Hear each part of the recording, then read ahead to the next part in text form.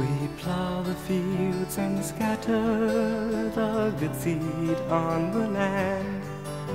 But it is fed and watered by God's almighty hand. He sends the snow in winter, the warmth to swell the grain, the breezes and the sunshine, and soft refreshing rain.